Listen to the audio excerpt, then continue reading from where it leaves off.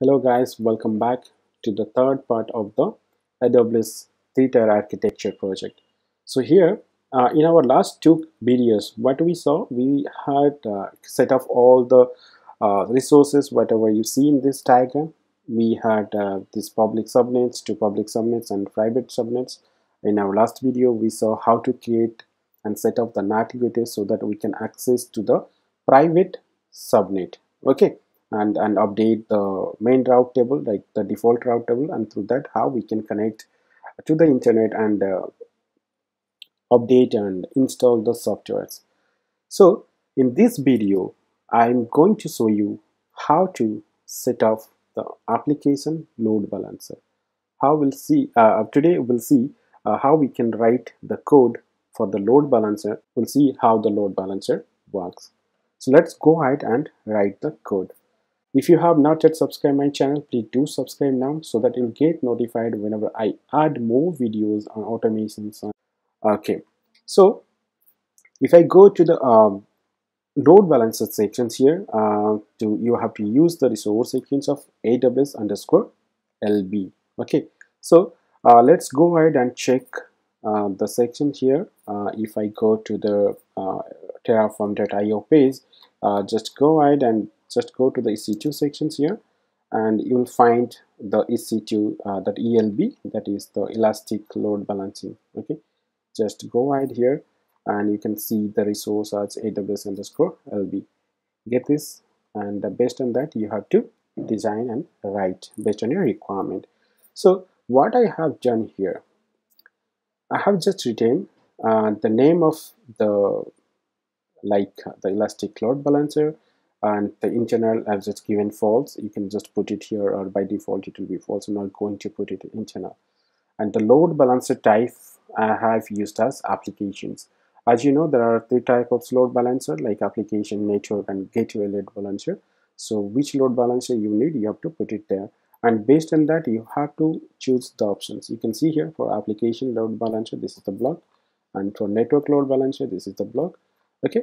And uh, all these uh, informations available in the terraform page documentation page. Okay? Now what i've used here? A load balancer type application and the security groups. I'm going to use the security groups which was created as part of the security resources. Here aws underscore security group. Okay? So that is what is going to be created. So i have used the aws underscore security underscore group dot allow underscore tls.id. The security group ID is being added to the load balancer. So here I'm going to use, I'm going to add multiple subnets. That means minimum a load balancer. Remember, a load balancer is required minimum of two subnets to work. Otherwise, it will not work. Minimum two. So that's why I have created two subnets and that two subnets by using this for loop going to fetch the subnets, public subnets created under this section, this resource block. So two public subnets will be created under this and I'm going to fetch the two public ID and associate and attach to this load balancer. Okay, these two subnets will be created. So for subnet in AWS underscore subnet dot public colon I'm going to use this subnet and this is the one dot id so it is clear now. You can see the two subnets have been added here. Now if you see here uh, as we need to create the load balancer we need a target group to be created. Prior to prior to create a load balancer we need the target group. So we have a resource sections. You can see here aws underscore lb underscore target group this target group we are going to see what is the port what is the protocol to be used the target type instance or IP or whatever. So I have used instance here and which VPC uh, we are going to put it we are going to put in our custom VPC ID and there is also we have given a health check. You can see the health check threshold we have given 3 unhealthy threshold 10 time at 5 interval given as 10 and the path where you want to do the health check. I have given it here root okay? And the port is 80 so this is what about the target group. The target group is created. Now what we need we need to attach the server. Which server you want to add into the load balancer? You have to attach that into the target group so we have a resource section. It's called the resource block called aws underscore lb underscore target underscore group underscore attachment. You can get it from the terraform io documentation page. And here we have the target group arn so which are the target group arn we need to add into the attachment sections. We can get it from the target group this one. We are going to add the ARN. So we can get these attribute sections from the resource block of this Terra, Terra uh, from IO and you'll get from the resource block of this target underscore group. Okay, and so you can see here the target ID. The target ID is nothing but our the instance ID. We are going to add it here in the attachment. So the instance ID, how we'll get it? We'll just have to add the instance resource block that AWS underscore instance and the instance is source name.web and we have used here the count.index because we have two instances two public instances which need to be added or attached to the target group of the load balancer. Okay this is what and the port number 80 and uh, as we need um, the load balancers and the target we have to add the listener to listen the uh, traffic right? Listen the balance load balance and all so we have to add the resource block called aws underscore lb underscore listener okay? And here load balancer arn so you have to get the load balancer arn this time. Aws underscore lb dot alb dot arn this is what is written here. And the port 80 protocol http and default action is to forward. So where is forwarding? To the target group. Okay the listener will listen the traffic it will listen the uh, customer request it will uh, get the traffic input input and then forward to the target group and then check and uh, work accordingly. Okay this is what only you have to write for our lb okay for application load balancer. Okay so let me go ahead and copy all this uh, whatever is i just explained to you uh, go to our project folder okay. So, so let me log into the server uh, so this is where I have written the project okay? And it is into the terraform.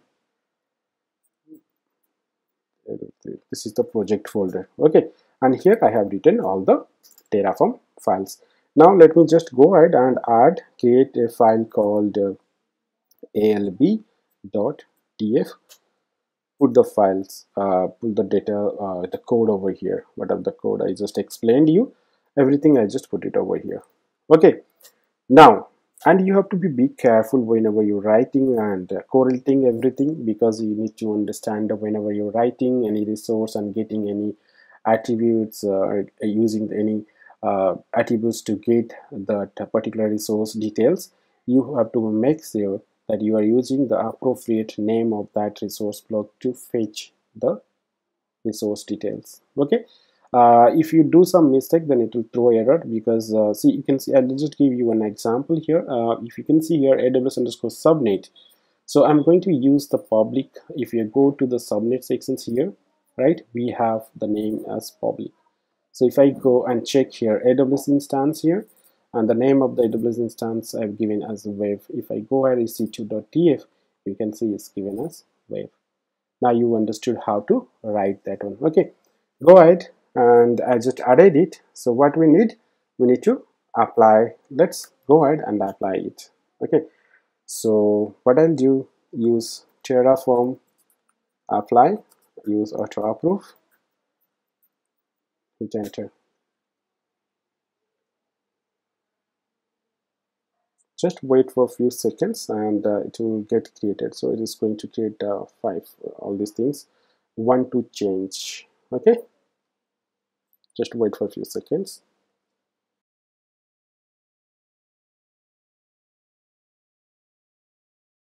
So here it is. So five resources have been added and one changed. So let's see whether uh, our LB is gated or not. Okay let's go ahead uh, to our AWS console and you'll find the application load balancer under the EC2 sections. Okay and I'll go a little below here. You can see here the load balancer here. Just go ahead and click the load balancer. Okay here it is. It is being created. And you can see here uh, it has the ARN and it has the DNS name. And we need this DNS name to access our application okay hosted in the web server. Now let's see the target groups okay. And if I go ahead and just click this target group you'll get all the details about uh, the server uh, because that two servers two subnets two EC2 instances is added. So you can see here uh, two tar uh, target uh, registered uh, EC2 instances okay?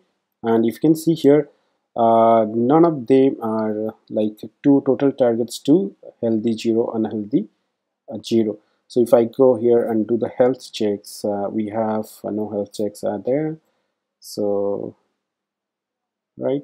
So just wait for seeing target registration is in progress okay? So it has not been registered yet. Just refresh it. Okay so we can see it here. Uh, our target has been registered now. However the health status is unhealthy right? You can see here unhealthy. Both of the servers are unhealthy. That means none of the servers web servers are running okay? So what we have to do in our last video the part one we had installed the httpd server. The apache web server was installed. Okay now what we need? Let's go ahead and connect to the server. So uh, connect to the both of the public server and start the httpd server manually. Okay um, so let's go ahead to the EC2 dashboard. Instance running. So let me go and copy the first IP address of public IP go ahead and ssh hyphen i. ec2 hyphen user. Other rate just keep the IP address here. Okay good. So um, we had installed already the httpd server right? Now let me start it. So we have to use sudo system ctl start httpd okay? To check the status whether it is started successfully or not just use status. You can see here the apache web server is running. Same thing we have to do for our second web server okay? Let me quickly connect to the second web server and uh, get the IP address here. This is the second IP address public IP address. Go ahead put it here. Good. Now let's start the video. System ctl start. Httpd okay. Our service is now started but we have not deployed any application okay let me just add one index file to the root folder. Okay. so just go ahead and copy this content html i have written small html lines here. And uh, just go to the folder. Is called uh, just use vi editor to create a file. Okay so use to the folder. But www slash html slash index dot html i'm going to add it here okay? So it is being added. So to the second server i added. So same thing let me do for the first server okay? This is the first server. So what i have to do use the same command sudo vi go to the folder www html and index.html okay? Enter just put the file here okay and uh, the second server we had uh, give that server we had given as server 1 split this server to server 2 okay? Let's make it to understand uh, the load balancer is working perfectly or not. Okay? Just added server 2 let's go ahead and zip the file. Come out. Okay. So in the both server our httpd server has started. Okay now if i go ahead and uh, to the load balancer target group and check the health let's see what is the status now. Click on here. Still it is says unhealthy. Okay so it, will take a few seconds to uh, check the status and update it here. Okay now you can see here. We can see here now it is healthy okay so we have started the server and added and deployed the applications so it says it is healthy both the server is up to date. Now how to access those web servers or applications using that ALB DNS okay just go ahead and to the load balancer and uh, you can see here the DNS name right here. So we need to copy the DNS name here. Go to your browser. Paste it here see our server is running. So we are into the server 2 now if I refresh it you can see here my traffic has gone to server 1 so both the server 2 server 1 server 2 server 1 see it is going to the both the server. So our load balancer is um, routing the traffic to the both public web server. Now you understood how to write the code to set up your application load balancer and how we can access it to it. Before moving out, make sure you delete the resources whatever you have created using the Terraform. It's very important because if you leave it, you have to pay for the resources being created. Because we have created almost around 21 uh, resources right? So let's go ahead and delete all the resources so what we'll use we'll use terraform destroy okay i'll use auto upload so that is a typo it should be RRA not RA RRA good. So what it will do it will just clean out everything whatever was created as part of this terraform. Okay? Hope you understood clearly uh, all the videos and all the sections. Uh, if you have any doubt or any concerns please do write me in the comment section below. I'll just uh, help you to solve the issues or solve problem if you have any. If you have not yet subscribed my channel, please do subscribe now so that you'll get notified whenever I add more videos on automations